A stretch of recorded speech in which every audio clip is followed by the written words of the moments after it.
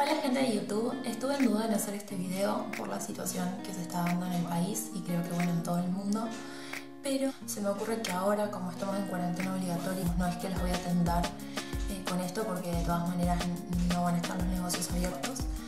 Eh, y bueno, no quería tampoco retrasar mucho el video porque ya no va a tener sentido si siguen pasando las semanas. Como habrán visto en el título, se trata de un haul de vuelta a clases de papelería. En primer lugar me compré una agenda. Eh, estas agendas de Moving las vengo utilizando hace años ya. Me vienen resultando muy buenas y además el precio de estas agendas en general es de los más bajos de lo que son las agendas grandes y así como un poco decoradas. Eh, esta me salió algo de 400 pesos. De todas maneras voy a estar dejándoles eh, los links de Mercado Libre de la librería en la que compré todas las cosas, o la mayoría de las cosas en realidad. Eh, y obviamente esto no es nada esponsoriado ni nada, simplemente que como estas no son compras de 11, tal vez pueda resultarles útil encontrar los precios en internet. Como les decía, yo las vengo utilizando hace bastante tiempo estas agendas porque también me gusta como la disposición que tiene de los días, me permite ver toda la semana en una sola hoja y al mismo tiempo eh, está bueno como los colores que usan, me gusta mucho la parte estética que maneja esta marca. Lo único malo de esta marca es que eh, las hojitas son muy finitas. Eh, por ejemplo, no sé si se va a ver, pero acá por ejemplo puse Día de la Primavera y del otro lado medio que se va a transparentar eso es un tema con estas agendas, por algo son un poco más económicas. Eh, en el caso mío, como uso las agendas solamente para cuestiones muy puntuales eh, y no las uso para escribir mi día a día, para eso uso otros eh, sistemas, digamos, no me molesta tanto, pero bueno, es algo a tener en cuenta. También está bueno que traiga esta planchita de stickers. Yo en general no los uso, pero este año decidí que sí, que los voy a usar porque si no me terminan quedando ahí guardados como nunca los vuelvo a, retomar.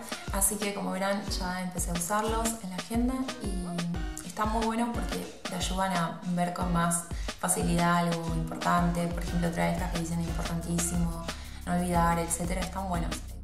En la misma librería conseguí este cuaderno que me gustó mucho, es el típico cuaderno de facultad o de colegio también creo Creo que algunas maestras piden este tipo de cuadernos. Y bueno, eh, me gustó sobre todo por el precio. Eh, voy a ser sincera, este tipo de cuadernos están bastante caros y eh, este creo que estaba algo de 300 pesos. Y sí, parece una locura, pero es un precio que dentro de todo es barato para lo que se supone que están estos cuadernos.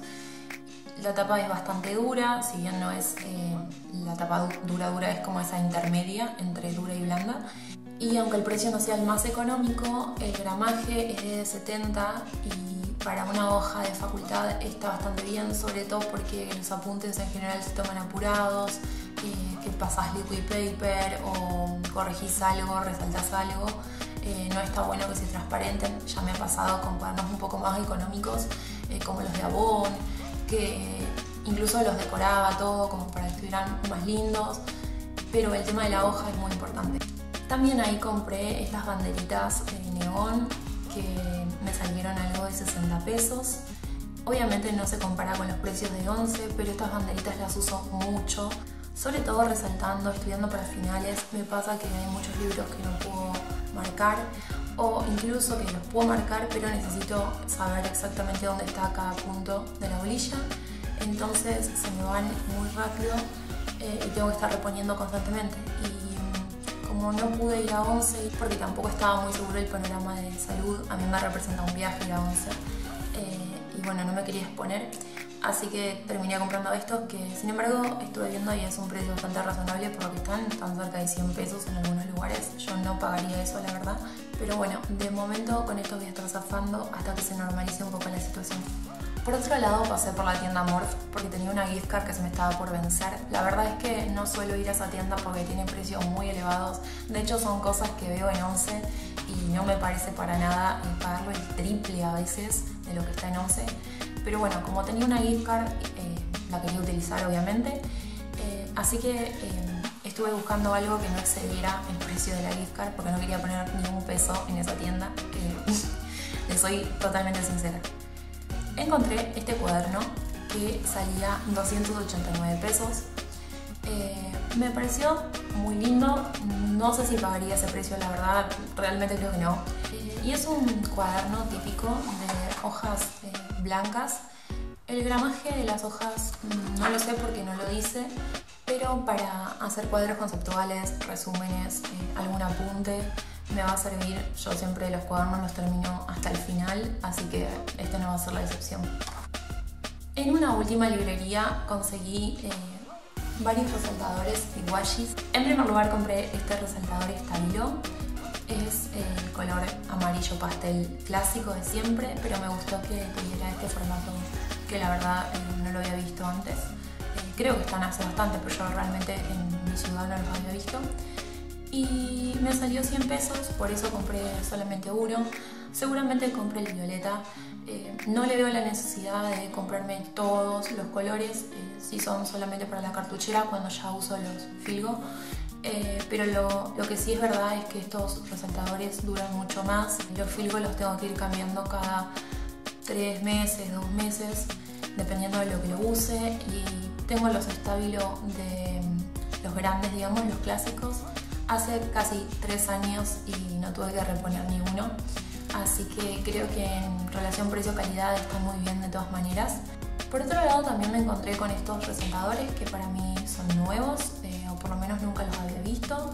Eh, tienen como este formato de fibra y en un primer momento pensé que eran fibra, pero realmente son resaltadores, solamente es como la parte externa que se asemeja a una fibra. Y son resaltadores en colores que no son tan comunes. El color gris eh, creo que viene también en formato grande pero este color rosa no lo había visto nunca.